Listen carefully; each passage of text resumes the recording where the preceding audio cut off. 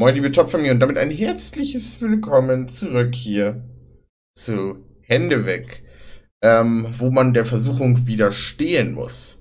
Letzte Folge haben wir sehr, sehr viel gesehen. Ähm, ist jetzt für mich nur ein paar Sekunden her. Ähm, Kite hat Harry eingesperrt in der Sauna. Ich bin gespannt, wer ihn erstmal aus der, aus der Sauna befreit. Ähm, wir haben zwar nicht mehr den Stuhl gesehen, trotzdem ist es arschgefährlich für dich in einer Sauna oder so eingesperrt zu sein. Entweder wo es um Hitze oder um Kälte geht. Also ich finde, das ist halt echt ganz schlimm. Ähm, und da bin ich lieber in einem dunklen Raum oder in einem engen Raum eingesperrt. Wenn jemand Klaustrophobie hat, dann ist es natürlich eher nicht so geeignet, äh, in einem engen Raum eingesperrt zu sein. Aber lieber das anstatt an einem Ort, der zu heiß oder zu kalt ist. Muss man sagen.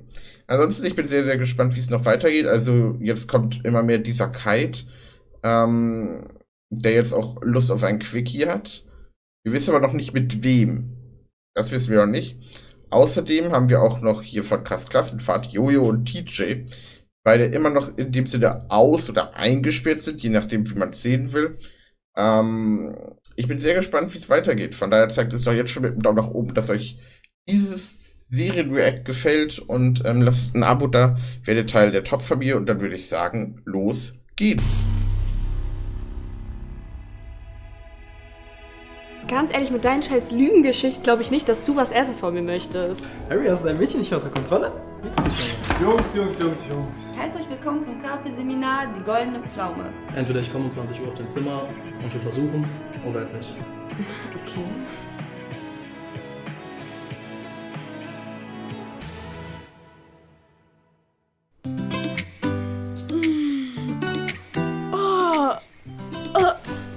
Hey, good morning, Baby. Hallo, was machst du hier? Fresh. Ich wollte fragen, hast du vielleicht Lust auf einen kleinen Good Morning Quickie?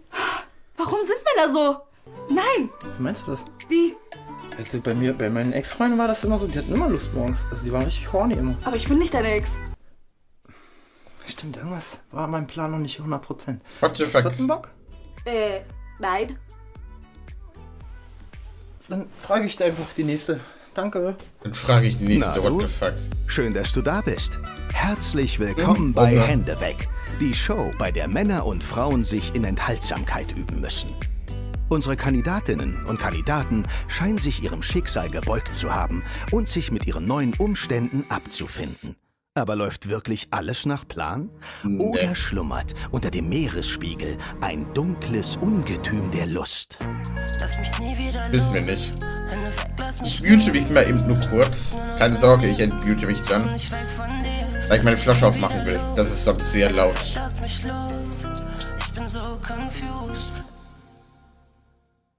Unfälle passieren. Aber nicht alles ist wirklich ein Unfall. Wie weit darf man gehen, um jemand anderen eins So, alles wieder gut. auszuwischen? Ist es nicht viel cooler, über den Dingen zu stehen und seinem Feindbild ehrlich und offen gegenüberzustehen? Spaß, Leute. Ich liebe Drama. Hoffentlich hauen die sich alle die Fresse ein. Hey Coach, ich hab mal eine... Coach, warum liest du ein leeres Blatt? Benjamin, bitte. Du kommst hier hin, ich lese hier gerade was, ja? Das ist ein kleiner Artikel aus der Bravo, wo es äh, um Intimpickel geht, die ich vielleicht habe. Ich hoffe nicht, dass ich sie habe. Aber ich muss mich informieren, dann kommst du hier rein und quatsch mich Okay, voll. okay, okay, Coach, Coach. Zwei Minuten, zwei Minuten. Ich habe eine Frage und zwar, es gibt so viele hübsche Kandidatinnen. Allerdings, die haben alle ganz schön hier Dings. Ja, ja, da. Aber das ist ja das Problem. Ja, yeah, und, und ich spüre nichts. Ich sehe sie, ich spüre einfach nichts. Ich war mit Äh. Startschwierigkeiten. Und komm. Äh, Nimmst du hier eine von den äh, blauen äh, Pillchen, nicht Ecstasy, äh, weißt schon, dass ich... Ja, ich, nein, gar nichts. Also es, es funktioniert. Also funktioniert abends funktioniert es immer gut. Perfekt, alles. Also. Aber wenn ich neben ihnen sitze, wenn ich sie sehe, gar nichts. Überhaupt nichts. Nada. Ja, dann äh, bist du wahrscheinlich jemand, der sich vielleicht ans andere Ufer orientiert, was nicht schlimm ist. Das habe ich mir auch gerade gedacht. Also das dachte ich mir aber auch gerade. Hm. Oh, ist äh, Gönjamin maybe doch nicht irgendwie dann da mit jemanden, kommt er nicht zusammen, sondern eher vielleicht mit einem Jungen? Oder gar nicht mit jemanden? Hm. Okay, das ist interessant. Also hätte ich nicht so mit gerechnet. Also durch ähm, die Vorschau ja von der letzten Folge zu dieser war es nicht so offensichtlich, worüber ihr redet und mit wem ihr redet. Dass er halt jetzt hier mit ähm, dem Coach spricht, genau. Ah. Also hätte auf jeden Fall erstmal so insgesamt von der Geschichte was, muss man zugeben. Sehr interessant. Ähm, mal gucken. Abends funktioniert, sagt er, aber irgendwie so, wenn er neben den sitzt, nicht. Maybe hat es auch sowas, so ein mentales Problem. Kann auch sein. Maybe, wir wissen es nicht. Aber erstmal so Gedanken dazu. Mal gucken. Mal gucken, aber wie sich das da entwickelt. Aber halt nicht in meinem Fall, ja? Wir sehen uns. Was? Nein, ich bin. Darum geht es nicht. Ich empfinde nichts für Männer, aber. Was würdest du sagen, findest Hm. du an mir am attraktivsten? Boah, als erstes auf jeden Fall deine Augen. Die sind so wie vom Bambi. Kennst du Bambi? Ja, danke Ich finde die echt schön. Also hier können wir, können wir da stimmt. vielleicht die nächsten paar Wochen reingucken? Ja, Okay. Gern. Geil. Ne? Und gibt es doch irgendwas, was du an mir besonders findest? Ja, also ich finde, du hast einen richtig schönen Modelgang. Wirklich? Sieht richtig schön aus, ja. Wie krass. Das habe ich auch noch nicht. Und bei dir finde ich auch noch toll dein Kleidungsstil. Du hast wirklich Geschmack für Mode. Dankeschön. Und dein Attraktivitätslevel ist einfach von einer Skala 1 bis 10 eine 19. Das ist krass, wirklich. Ich dachte, was da Ja, kommt jetzt? Bei dir auch, du hast so ein richtig schönes Gesicht. Das kann man so richtig schön fotografieren. Baby, halt mal kurz die Fresse. Guck mal, man sagt eigentlich, ein Kuss sagt mehr als 1000 Worte. Okay. Äh, Sorry, sorry, sorry, wenn ich da irgendwie kurz unterbrechen dürfte. Übrigens, äh, kurz sagt tausend Worte, sind wir bei Dornröschen? Auf jeden Fall, wenn ich da kurz eine Geschichte erzählen dürfte. Ich war damals bei einem Polizeieinsatz und Oh, irgendwer hat was geschrieben über ihn. Oh, ich habe schon wieder vergessen. Irgendwer hat mir da was zugeschrieben. Äh, in den Kommentaren irgendwie so, dass er so. Oh, er war ja auch schon als Jesus verkleidet. Oh, ich, ich komme gerade nicht mehr auf den Kommentar. Es tut mir so leid, jetzt hier live im Video, dass ich nicht darauf komme. Aber ich komme gerade nicht drauf. Aber irgendeiner hat so geschrieben, ja, irgendwie welche Rolle er hat oder irgendwie so. Aber ich erinnere mich nicht mehr. Ich erinnere mich nicht mehr, das ist halt jetzt echt.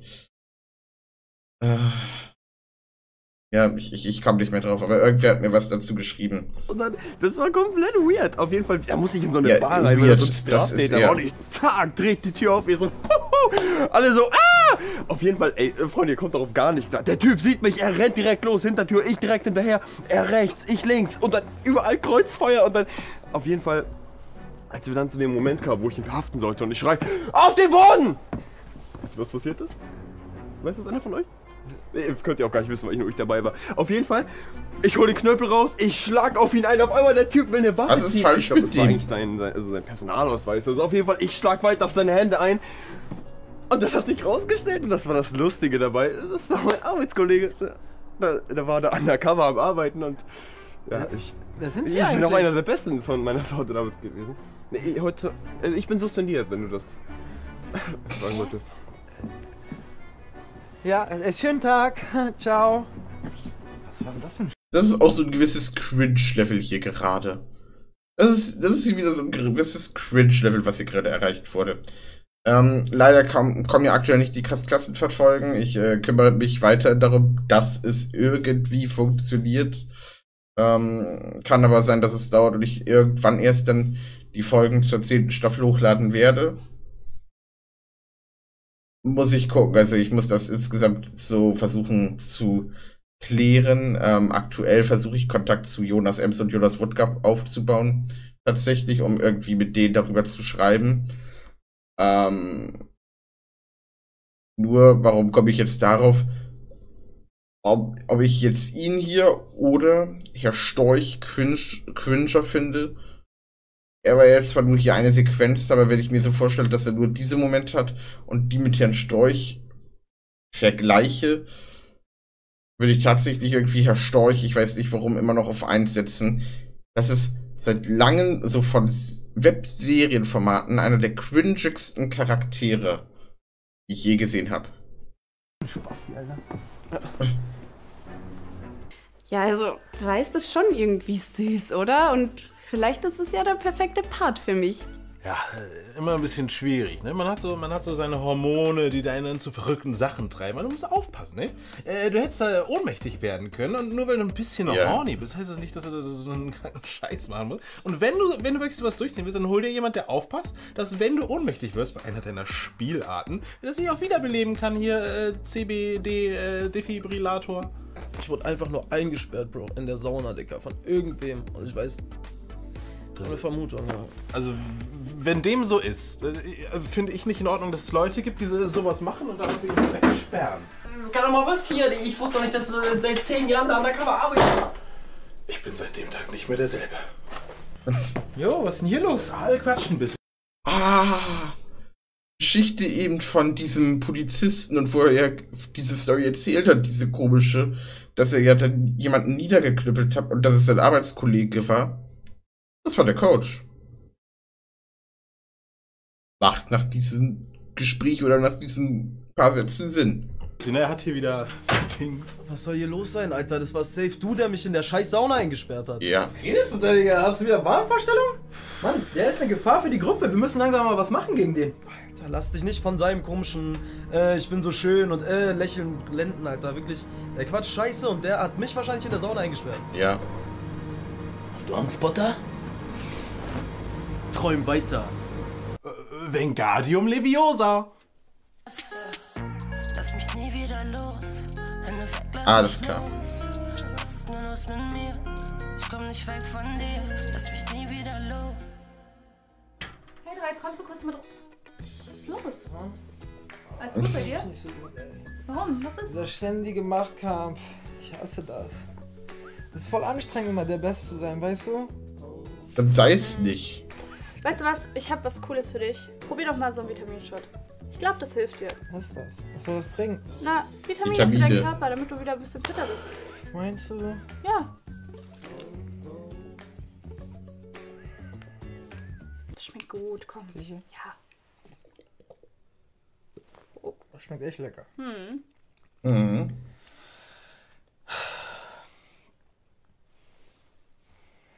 Wow. Boah, irgendwas passiert gerade mit meinem Körper, aber krass.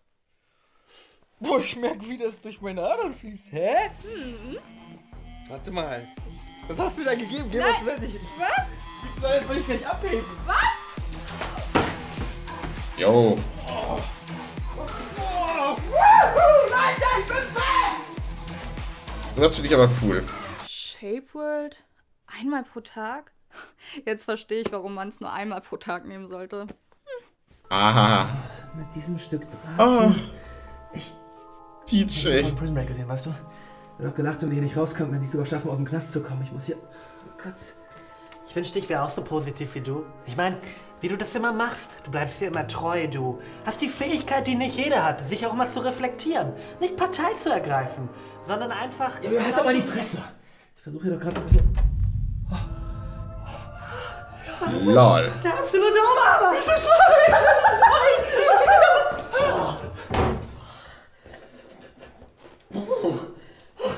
Warum hat er die Tür wieder zugemacht? Warum hast du das gerade gemacht? Ja, super kalt, kam voll der Zug rein. Nicht, dass sich jemand von uns erkältet. Aber komm schon, TJ! Wir sind frei! Hallo, du hast die Tür wieder zugemacht.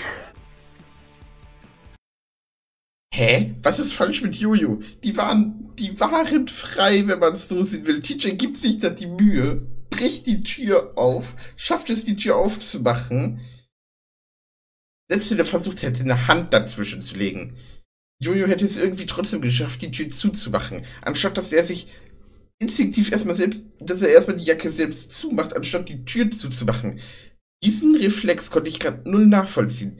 Wenn mir kalt ist, mache ich entweder A, das Fenster zu oder B, ziehe mir irgendwas Wärmeres an, wenn der Raum oder irgendwie die Begebenheit kalt ist. Also, das macht so gar keinen Sinn. Wirklich gar keinen Sinn. Meiner Meinung nach. Haha, du hast geblinzelt, du hast verloren. Oh, ich hab kurz nicht aufgepasst. Holly, erzähl mal. Wen findest du hier interessant? Also da gibt es schon einen, aber es bringt sowieso nichts darüber zu reden, weil Benjamin. ich darf nichts mit ihm machen vor der Ehe. Also, ich glaube ja, das ist Dreistes. Nein.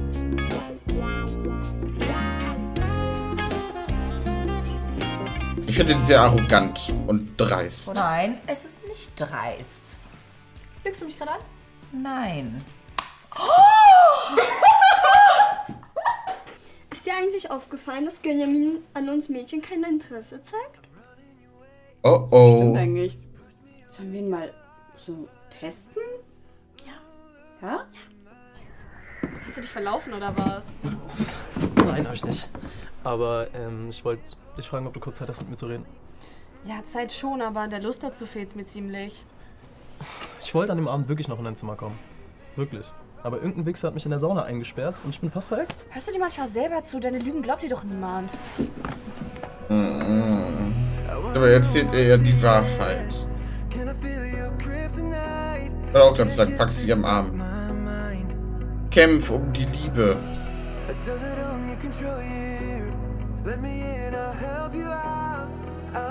Aber die küssen sich nicht. Oder? Doch. Oh oh. Damit haben wir nur 85.000. Gut, schreiben wir mal hin. Sind nur 85.000 zu gewinnen. Mensch, so schnell kann es gehen.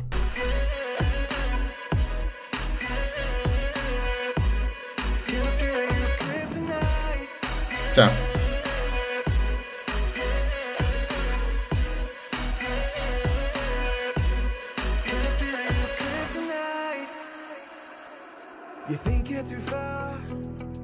Und die beiden wollen jetzt Gönjamin testen, verführen, was weiß ich.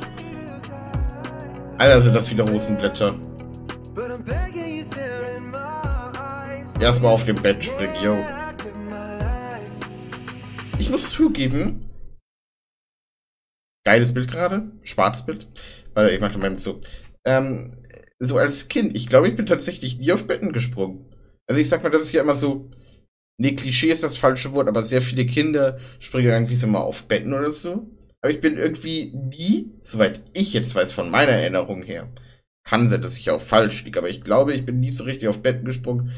Ähm, ich war tatsächlich immer eher so einer, ich bin sehr, sehr gern geklettert. Ich war draußen Bäume hochgeklettert, in dem Sinne, da hatte ich so Spaß als Kind. Ähm, das hat mir tatsächlich immer so Spaß gemacht. Oder diese Kletterparks, da bin ich dann auch immer so geklettert. Ähm, hier diese, oder so Spielparadies. Boah, ich weiß gar nicht mehr, wie das hieß, aber da war ich als Kind vielleicht drei, vier Mal oder so insgesamt. Äh, da wurden Geburtstage gefeiert, sei es meine oder auch von Freunden. Und wo man dann, boah, äh, zum Schluss immer so ein Bällebad und da muss man immer so Etagen hochklettern, ähm, so parkourmäßig. Fand ich richtig cool als Kind. Keine Ahnung, warum ich gerade daran denken muss. Diese Überleitung bei mir. Uh. Oh nein, wir haben das jetzt voll unordentlich gemacht. Ist doch egal, als ob Männer das überhaupt auffällt, dass wir was gemacht haben. Hm, na gut. Gönjamin!